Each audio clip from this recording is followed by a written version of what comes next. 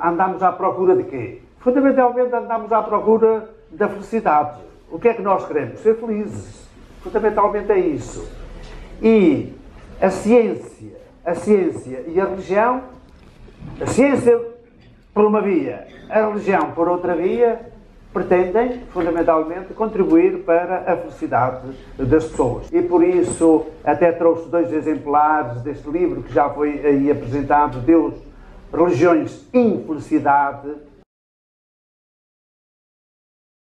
Porquê? Porque tem aqui testemunhos, testemunhos vários de grandes uh, cientistas em conexão com a religião e, em grande parte, devo esses testemunhos ao meu querido amigo, o professor uh, Filhais. Eu julgo que, quando nós falamos de religião, evidentemente que temos sempre de falar de religiões.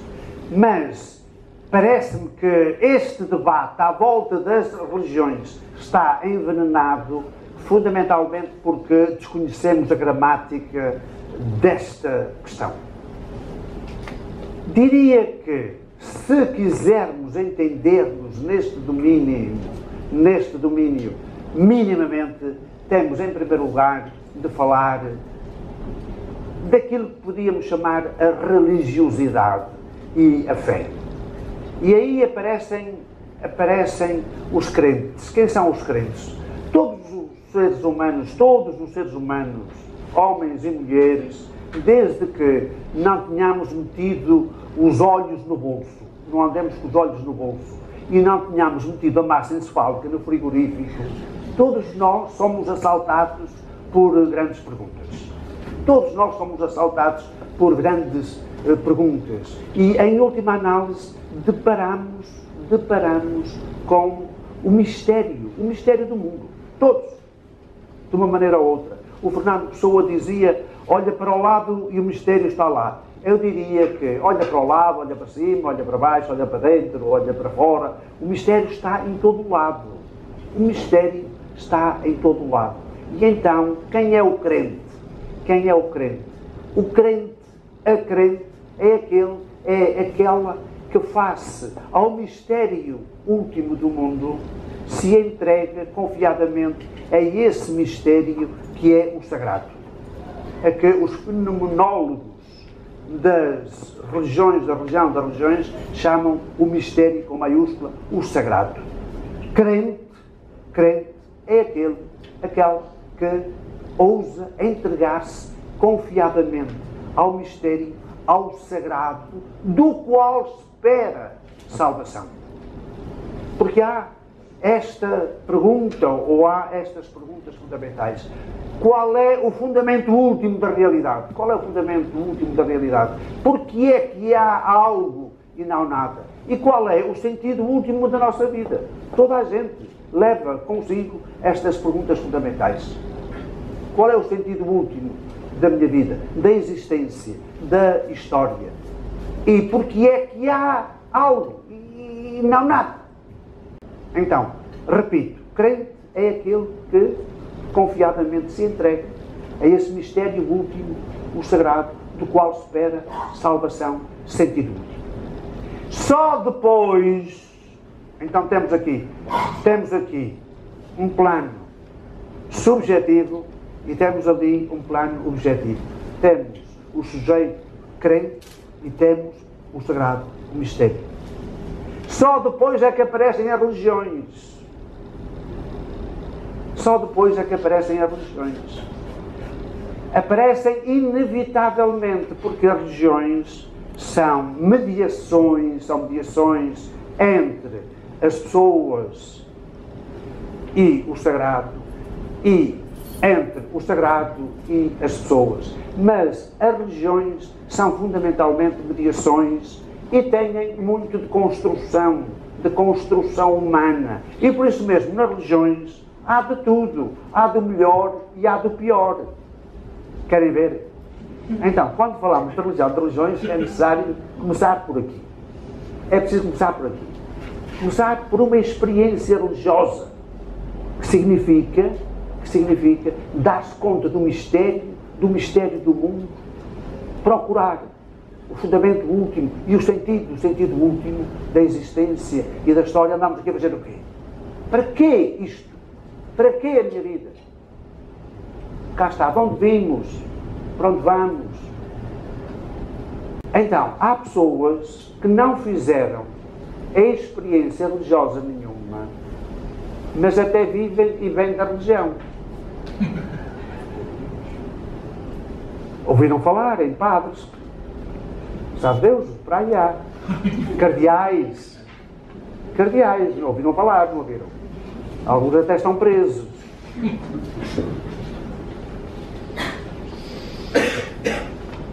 Por isso eu costumo dizer, do altar para baixo, dado que invocou a minha situação de padre, nós não acreditamos, nós não acreditamos nos padres, nós não acreditamos nos bispos, nós não acreditamos muito menos nos cardeais, na cúria romana nem falar. Nós acreditamos em Jesus, em Jesus, e através de Jesus, os cristãos, acreditamos em Deus, do qual esperamos salvação. Mas isto é fundamental perceber-se. Então, como há, por exemplo, ateus, mas que vão às procissões, quando são políticos, por exemplo. Porquê? Às procissões religiosas, porque isso pode dar votos. Percebem? Isto para dizer quão fundamental é esta distinção que eu acabo de fazer. Há uma experiência religiosa, face ao mistério, face ao sagrado, de quem se espera salvação, ao qual o crente, a crente se entrega, e há as religiões. Como há pessoas que fizeram verdadeiramente uma experiência religiosa e têm distância face às religiões instituídas, enquanto instituições também há, e hoje cada vez mais. Pessoas que fizeram uma verdadeira experiência religiosa, mas mantêm algum distanciamento face à religião instituída, às religiões instituídas. Ora bem, depois, a seguir, evidentemente que este sagrado, este sagrado precisa de ser dito, não é? Está para lá de tudo aquilo que nós possamos dizer ou pensar dele. Mas a gente precisa de ser dito. E por isso é que as religiões têm uma teologia. Há teologias, segundo as várias uh, religiões. E há nomes para esse sagrado, para esse mistério. Há nomes. Então, há teologias, e assim aparecem determinadas religiões. Evidentemente que há também um determinado comportamento exigido por essa fé, e cá está, nós encontramos uma ética nas religiões. Evidentemente que, como há muitos crentes, segundo as várias religiões, também, também há liturgia, não é? Encontram-se. E, evidentemente, também há uma organização. Uma organização mais democrática, menos democrática. Mas, quando nós falamos de religião, religiões, parece-me que é fundamental este tríptico. E a ciência, então? A ciência também quer resolver este enigma do mundo, não é? Explicar o que se passa. Explicar o que se passa. E, evidentemente, evidentemente que a ciência tem um método, um método próprio. Qual é o método científico? Quando nós falamos das ciências, eu falo, em primeiro lugar, das chamadas ciências exatas, que hoje, enfim, quando a gente pensa na mecânica quântica, felizmente que eu posso dizer as neiras quanto à ciência, porque está aqui o, o meu querido amigo Carlos Vilgais e ele corrige-me se for, se for necessário. Não é? Então, há as chamadas ciências exatas, que, como digo, quando a gente se mete pela via agora da mecânica quântica, talvez, enfim, este problema da exatidão das ciências, mesmo das chamadas ciências duras, fica numa outra perspectiva, porquê? Porque o próprio, o próprio ao nível concretamente da, da, da, das, das partículas subatómicas, a própria observação muda ou pode mudar o comportamento, o comportamento das partículas, portanto aquela cisão sujeito-objeto não é tão não é tão forte como a gente pensava, de qualquer forma, a ciência pretende objetivar e vive da objetivação e da explicação. Há a hipótese para explicar os fenómenos e a ciência tem, tem, esta, tem esta característica fundamental que é a verificabilidade ou a informação da hipótese. Cá está. E, portanto, a ciência tem esta, tem o objetivo também de explicar o mundo, cá está, de explicar o mundo através de um método que é controlável, que é controlável. E em última análise, verifica-se a hipótese ou infirma-se. E assim a ciência vai avançando. A ciência é universal. Não há uma ciência, não há, não há uma ciência para ateus, outra para crentes, uma ciência para homens, outra para mulheres, uma para, para, para budistas, outra para judeus. A ciência é universal por causa do seu método. Por causa do seu método. Por outro lado, a grandeza da ciência, qual é que é? A grandeza da ciência é que traz vantagens. Isto é, a ciência depois aplicada, olha, permitem, por exemplo, que eu tenha vindo do Porto até aqui. Rapidamente. Não é? E já fomos à Lua. Cá está. Temos a, ciência pura, depois aplicada é a técnica. Hoje já temos a tecnociência. Temos a tecnociência porquê? Porque mesmo para fazer investigação precisamos da técnica. Mas a ciência é universal por causa do seu método. Então, e, e a fé? A palavra fé vem do latim fides, depois como fides à confiança. Cá está. Mas a gente quando fala de fé pensa fundamentalmente na fé religiosa, mas eu diria que a fé, a fé é a base da nossa vida. No fundo, no fundo, a nossa vida está assente na fé, na confiança. Eu meti-me no comboio, enfim, mais ou menos convencido que chegaria à hora, não é? Não, e que o comboio vinha, que não havia um desastre. Nós, no fundo, andamos nisto com uma confiança. E imaginei que havia aqui pelo menos duas ou três pessoas com quem conversar, não é? Senão não vinha, não é? A gente confia, confiei nisso, não é? Aqui o doutor imaginou, imaginou que eu, que eu, portanto, imaginou isto, acreditou que eu tinha dito que sim e que viria e vim, e ali estava eu à hora, como estava previsto. Mas no fim de contas ele não podia demonstrar cientificamente que eu vinha. Confiou, tinha razões, evidentemente muitos dos senhores são casados, não é? Ou namoram.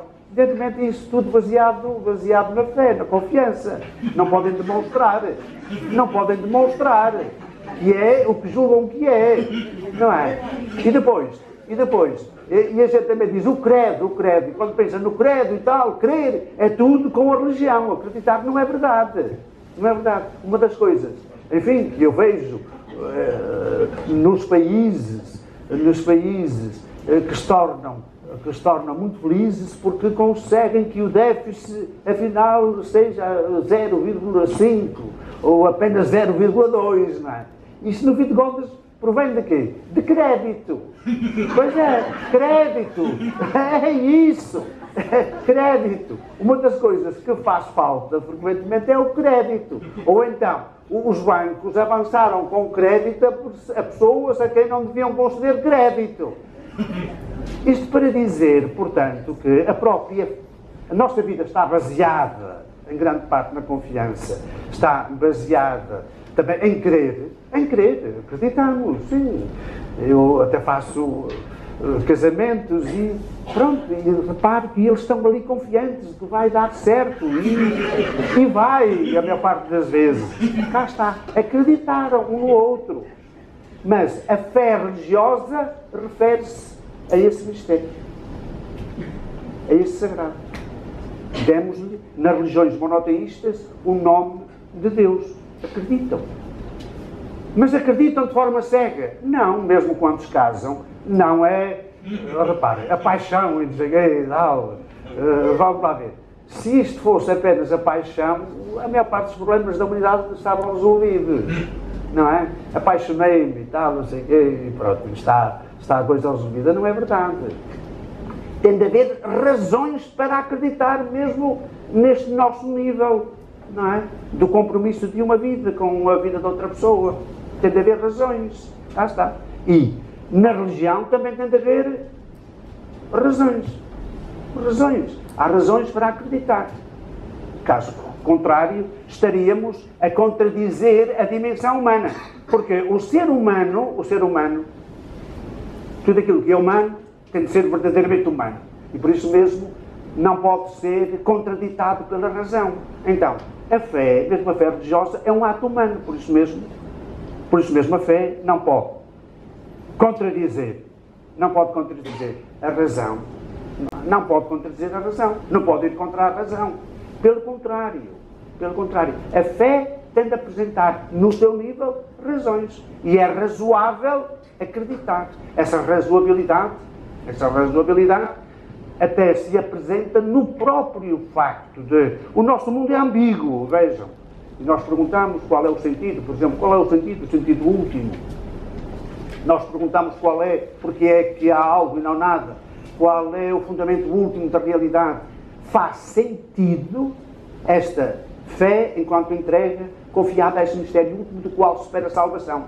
E a razoabilidade deste ato manifesta-se no próprio ato de confiar. Porquê? O mundo é ambíguo, há bem, há mal, há justo, há injusto, há sentido, há falta de sentido. No próprio ato de me entregar confiadamente a esse mistério, nesse próprio ato, manifesta-se a sua razoabilidade. Porquê? Porque este mundo, com sentido, sem sentido, com bem, com mal, com justo e injusto, aparece mais razoável. O mundo aparece mais razoável com maior sentido. A minha vida aparece com mais sentido, com mais horizontes. A partir daquilo que eu disse, se explicita que quando falamos de religião, falamos de religiões sempre no plural, é evidente, não é? Porque nascem em contextos diversos, geográficos, económicos, eh, sociais e históricos, não é? As religiões, veja, o sagrado mistério é sempre o mesmo, mas há religiões, por causa da interpretação, da história, do contexto em que nascem. Mas já percebemos, acho eu, que então nem a religião nem a ciência podem ser, podem ser fundamentalistas. Isso parece-me absolutamente claro. Não podem ser fundamentalistas porque o fundamentalismo, no fundo, deriva, deriva, deriva da ignorância, ou, desculpem a palavra, da estupidez. Porquê? Porque nós estamos no fundamento. Mas não dominamos, não possuímos o fundamento. Nós estamos no fundamento. Mas ninguém possui, ninguém domina o fundamento. Porque para dominar o fundamento, o fundamento significa a ultimidade. Ora, ninguém domina a ultimidade. Nós somos finitos, à procura do infinito. Nós quando falamos do mistério, falamos da ultimidade e nós somos sempre, somos sempre penúltimos. Por isso, a religião não pode ser fundamentalista. Mas a ciência também não pode ser fundamentalista. Porquê? Porque a ciência não tem, não detém o monopólio da razão. Tem aquelas características e aquelas vantagens que eu apresentei há bocadinho, mas a ciência não tem o monopólio da razão. Porquê? Porque há outras razões. A razão, a razão religiosa, a razão estética, percebem? A razão estética, eh, a razão ética. Há várias vias de acesso à tentativa de desvendar esse mistério último que está sempre para lá daquilo que nós podemos dominar e controlar. Então, não ao fundamentalismo, quer religioso, quer, quer, quer mesmo científico, neste sentido, e depois das ciências, ainda seria preciso falar das ciências humanas, enfim. De qualquer forma, de qualquer forma, hoje a conflitualidade que houve entre religião e ciência foi ultrapassada. Porquê? Porque, porque a ciência sabe qual é o seu domínio e as religiões também, se não sabem, deviam saber quais são, qual é, qual é o seu domínio. Houve aquele conflito com o Galileu. O Galileu parece que entendeu melhor, melhor as coisas do que os cardeais que o julgavam. Ele disse, disse ao, a quem o julgava que a Bíblia Não pode ser lida à letra. Não pode ser lida à letra. E a Bíblia não é um livro de ciência, é um livro de religião. Lá a Bíblia te ensina como se vai em cello, não como vai em cello. Isto é, foi o que ele disse, foi o Galileu textual. A Bíblia ensina-nos como se vai para o céu. Isto é, o caminho da salvação. Não nos diz como vai o céu, como é o céu no sentido agora da astronomia. A Bíblia não é um livro de astronomia. Felizmente que este conflito com Galileu foi superado. Aliás, ele até manteve, manteve, manteve a fé. Manteve a fé. Sei lá, depois houve outro conflito com, com houve outro conflito, nomeadamente com Darwin. E lembram-se daquela famosa história quando, quando um discípulo de Darwin foi explicar, eh, aqui era o caso da igreja anglicana, eh, lá esteve a falar e disse lá a mulher do bispo anglicano, é, oxalá, oxalá, oxalá, que não seja verdade, que não seja verdade isso que nós vimos do macaco, oxalá, mas se for verdade, que o povo não saiba. Houve alguém mais ácido que perguntou, ouça lá, você, você, você provém, provém provém do macaco pelo lado do seu pai ou pelo lado da sua mãe. Estão a ver? Mas hoje, hoje, qualquer pessoa minimamente instruída sabe que pode ser crente e aceitar, e aceitar a evolução. A evolução hoje, não é, o evolucionismo é mais do que uma mera hipótese. Portanto, podemos ser crentes e aceitar a evolução. Deus cria pela evolução, porque a pergunta pela criação é diferente da questão da evolução. Deus pode criar através da própria, da própria evolução. E agora, para lá, portanto, de termos superado esta conflitualidade, para lá de termos superado esta, esta eh, conflitualidade, nós sabemos que cada vez mais os crentes podem apresentar as suas razões para acreditar. Para acreditar. No próprio ato de confiar, mostra-se a razoabilidade desse ato. Depois, há qualquer coisa para que eu chamo constantemente a atenção dos estudantes, que é a neotenia. Nós vimos ao mundo, nós vimos, vimos ao mundo por fazer. E essa é uma distinção essencial de nós com os outros animais. Os outros animais vêm ao mundo já feitos. É impressionante isso mesmo, sei lá, as vitelas, ou já vi, os correios nascem mailambos e tal, naquele dia erguem-se e tal, e dali para diante apenas crescem e engordam, tanto pior para eles. Mas mesmo os animais mais próximos de nós, o ser humano não, veio ao mundo prematuro. O ser humano veio ao mundo prematuro, prematuramente. Dizem os biólogos que, que se fôssemos meramente biológicos, tínhamos de passar mais um ano no ventre materno, o que, como é sabido, não é possível. Portanto, nós nascemos prematuramente, somos prematuros. Isso é a neotonia. O que é que isto quer dizer? Quer dizer que, das duas, uma, ou, ou a natureza foi madrasta para nós e não nos deu aquilo que devia dar-nos, ou então esse é o modo de nós nos tornarmos verdadeiramente naquilo que somos, humanos. Isto é, nós vimos ao mundo prematuramente nós vimos ao mundo, mesmo com a rede de, de, instintos que temos é muito, é muito precária, não é? E é maleável. Temos de receber, por isso mesmo, por cultura, aquilo que a natura nos não deu. E temos de fazer-nos. O que é que andamos cá a fazer? A fazer-nos. Acham tarefa pouca? Os outros aparecem feitos. O ser humano vem ao mundo por fazer e fazendo o que faz. Anda aqui a fazer-se, recebendo cultura e produzindo cultura. E uns com os outros. Um bebê precisa de afeto, de carinho, do que ele precisa, meu Deus. Do que ele precisa. E cá está. Andamos a fazer-nos. E por mais que façamos de nós, nunca nos fazemos adequadamente. Nunca nos fazemos adequadamente mesmo, e cá está, o nosso rosto, somos nós voltados para o futuro, para os outros, E nós pensamos sempre, se eu chegar não é? Eu pensava que se fizesse lá na altura da quarta classe tal, depois o liceu e tal, que já estava bem. Os milionários, eu tinha um amigo meu que dizia, quando eu tiver, na altura ainda eram contos, quando eu tiver mil contos a limpar e tal, era um milionário e tal. Pá, o quê? Aquilo é sempre, estão a ver? Esta ânsia no ser, no ter permanente. Nós nunca estamos quietos. Nós somos, por natureza, seres quietos, porque somos finitos, abertos ao infinito. Cá está. E, mesmo na morte, ninguém pode dizer que está plenamente feito. Morremos em aberto. Ainda até, diz, diz o alemão.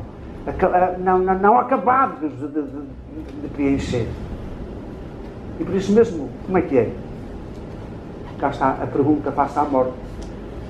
Se, se, repara, há um filósofo alemão chamado Fichte, eh, ele dizia, os meus tetravós, tetravós, para, para não irmos mais, mais, mais longe, nasceram, cresceram, nasceram, cresceram, tiveram filhos, é? amaram, tiveram filhos, morreram. Os meus bisavós nasceram, cresceram, amaram, tiveram filhos, morreram. Percebe? Eu também por aí adiante, ficaríamos, se efetivamente tudo acabasse, então, ali, na morte, então ficaríamos naquela situação da ponte que nunca atinge a outra margem. Há uma dinâmica em nós que mostra a razoabilidade do ato de, eh, de crer. Outro, outro ponto que para mim é muito, é, eu sou muito sensível por causa da escola crítica de Frankfurt, é das vítimas inocentes. Há muita gente que foi vítima reparem, tantas mulheres violadas, as guerras, as guerras brutais, as guerras brutais, tanta gente que foi vítima, que não viveu pura e simplesmente. E sobretudo quando foram vítimas da injustiça, que impediu as pessoas pura e simplesmente de ser. Há um clamor na história do mundo, clamor das vítimas, clama por justiça. Há uma dívida para com essas vítimas. Se não houver Deus, quem é que paga essa dívida para com essas vítimas? A escola crítica de Frankfurt era profundamente abalada por esta, por esta pergunta gigantesca que tem a ver exatamente com a religião. E passa-se então desse modo, cá está, da conflitualidade, como acabo de dizer, mas eu diria que para lá até da conflitualidade pode haver uma colaboração. A tentativa, há duas tentativas no Novo Testamento, para falar agora do cristianismo em concreto, duas tentativas de dizer Deus. Numa diz que Deus é amor. Que é amor. Quem é que fala com Deus? É quem pratica o amor. Eu tinha fome, deste-me de comer, tinha sede, deste-me de beber, estava nu, vestiste-me. É isso. Deus é amor e é amor incondicional. Esta é a mensagem fundamental de Jesus. É, Deus é amor e amor incondicional. HP. Amor sem condições. A outra tentativa de dizer Deus é no princípio do, do Evangelho segundo São João. No princípio era Logos e Deus é Logos. Logos significa razão, significa inteligência, sentido. E tudo foi criado pelo Logos pela razão, pela inteligência. Não é por acaso, dizem vários cientistas, vi isso em vários cientistas, de renome inclusivamente, que a ciência, depois daquilo que aconteceu na Grécia, se desenvolveu a ciência moderna concretamente no Ocidente, com base no judeu-cristianismo, por causa exatamente do Logos. Se tudo foi criado pelo Logos, então o mundo deve ser razoável e investigável. E investigável. Deve ter razão dentro dele, por isso mesmo é investigável. E os cientistas puseram-se a caminho para encontrarem uma leitura racional do mundo. Cá está uma colaboração. Uma colaboração. A outra, olhem, para dar um exemplo, uma vez que falou aí na medicina, eu de facto participo também num, num, num doutoramento em Psiquiatria e Saúde Mental, nomeadamente na Universidade de Porto, na Faculdade de Medicina da Universidade de Porto, e há uma colaboração. Isso, aliás, acontece muito na Alemanha. Na Alemanha. Repare, eu penso que não há diabo, isto é. Diabos há muitos, eu vejo muitos por aí, frequentemente e tal. Agora, o diabo, tal qual a gente, a gente o teoriza e tal, aí não acredito. Não acredito. Há mal no mundo, sim, há mal no mundo, mas, olhem, a nossa má vontade explica bastante mal o mal moral. E depois o mundo é finito e, portanto, há limitações, a própria evolução encontra becos sem saída, inevitavelmente porque o universo, apesar de tudo, o, cosmos com que nós contactamos é, é finito. Então, então, há pessoas que sofrem, que sofrem muito. E eu sou muito sensível ao sofrimento, ao sofrimento das pessoas, e evidentemente que é preciso ajudar as pessoas. Jesus ajudou as pessoas, na altura atribuía-se isso a alguns males ao, ao diabo, nós hoje sabemos que muitos daqueles males se explicam, se explicam psiquiatricamente. E devemos ajudar e levar as pessoas ao psiquiatra, e, uh, à neurologia, neurólogos, neurologistas, etc. Ajudar as pessoas. Mas, na Alemanha, por exemplo, existe muita colaboração, já está, entre, entre a medicina e a pastoral. Aliás, a partir, a partir concretamente de Carl Jung. Portanto, pode haver, aliás, há, há, há, há psiquiatras que me enviam, que me enviam doentes, porque em certos casos uma dimensão religiosa pode ajudar, como em certos casos me aparecem pessoas em intensíssimo sofrimento psíquico e eu mando para, para o psiquiatra. E está uma boa, uma boa colaboração também neste domínio. Porquê? Porque cá está aquilo que desde o princípio vimos dizendo: ciência, ciência e religião, religiões estão unidas no confronto com o mesmo mistério. E queremos, em última análise, a mesma coisa, que é facilitar a vida das pessoas, também através da compreensão, porque a simples satisfação da curiosidade é um bem, é um bem humano, lá diz o Aristóteles. Tudo começa pela curiosidade, não é?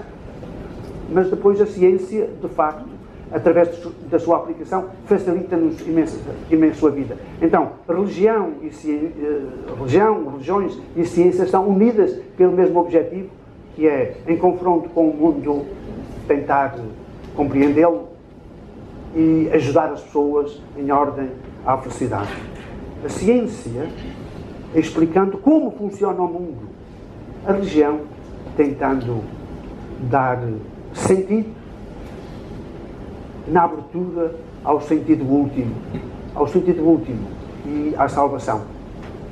E de facto há muita coisa que a ciência explica, mas há muita coisa que a ciência não explica, até porque não é do seu foro por causa do seu método. Lá está porque é que há algo e não nada, qual é o sentido, o sentido último. Isso não é objeto de experimentação. Cá está. E há, aliás, neste, neste livrinho, o professor Carlos Filhais diz, pois, há aquilo que a ciência não é objeto, sei lá, a beleza, a ética, a ética, o amor. Isso não é, embora também há uma química do amor, claro, mas em última análise o amor não se explica uh, cientificamente, a ética, a beleza, a ciência explica o como funciona o mundo.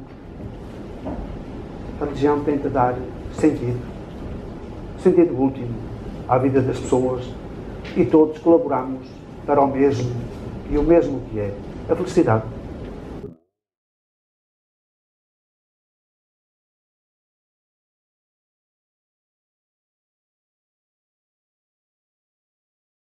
Há aqui uma distinção fundamental. Há várias religiões, não é?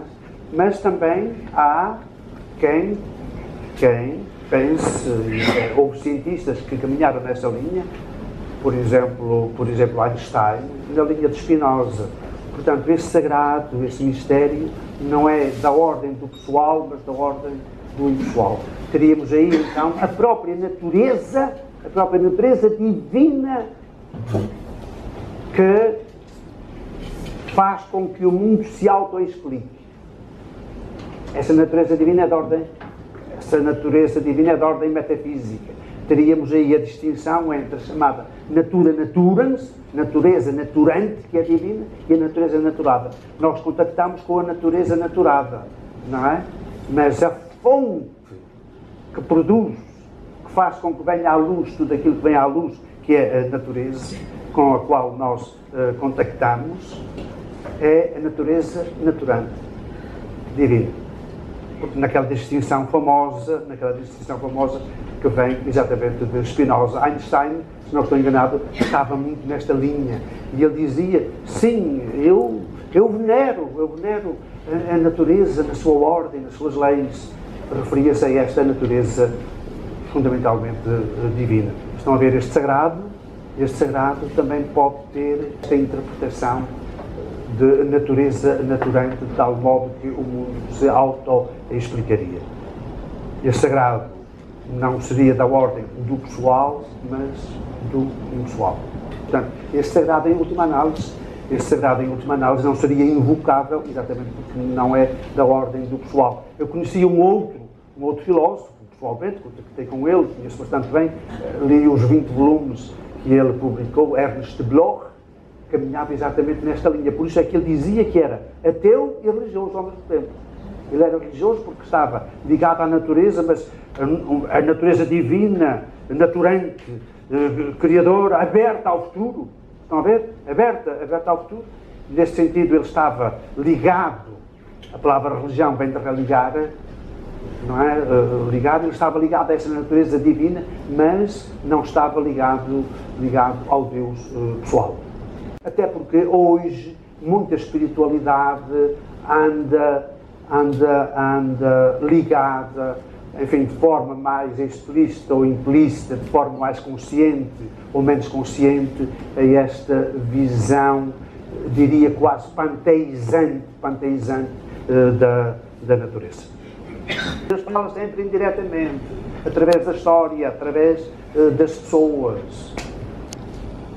Deus nunca, nunca falou comigo diretamente. Não. Eu pessoalmente penso que o verdadeiro crente só pode ser verdadeiramente crente aquele que passou pelo ateísmo, no sentido de derrubar os ídolos pelo caminho.